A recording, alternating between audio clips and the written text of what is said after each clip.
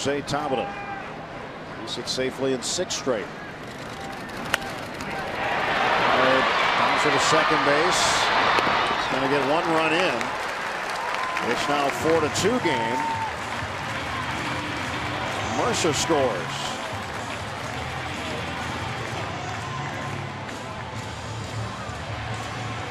Tabata with an RBI is the 11th of the year. Now Jones gets his shot at uh, being the tying run.